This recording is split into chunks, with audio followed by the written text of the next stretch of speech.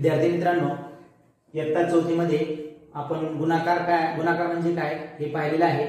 तरी परंतु एका उदाहरणाच्या सहाय्याने आपण या ठिकाणी समजून घेऊया. उदाहरण आहे राजूने आपल्या वाढदिवशी पाच मित्रांना प्रत्येकी तीन चॉकलेट वाटले तर त्याने एकूण किती चॉकलेट वाटले?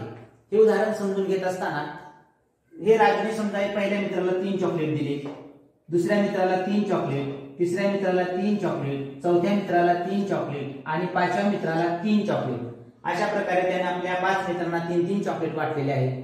आणि प्रत्येकाला प्रत्येका एकूण चॉकलेट किती वाटले हे काढण्यासाठी आपल्याला यांची काय करावं लागेल? बेरीज करायला लागेल. जर आपण यांची बेरीज केली तर पाहूयात किती बेरीज येते ते तीन आणि तीन सहा सहा आणि तीन नऊ नऊ आणि तीन बारा बारा आणि तीन पंधरा. म्हणजे बेरीज जर केली तर याचं उत्तर येते पंधरा.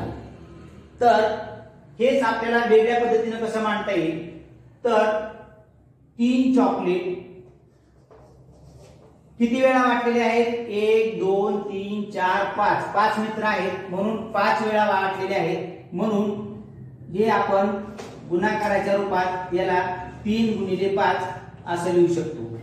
तीन चॉकलेट पाच वेळा. आणि याचं उत्तर काय? तीना पाची पंधरा. या ठिकाणी तीन चॉकलेट पाच वेळा वाटल्यामुळे तीन गुणिले पाच हे गुणाकाराचं चिन्ह आहे आणि तीन पाचशे पंधरा हे त्याचं उत्तर आहे.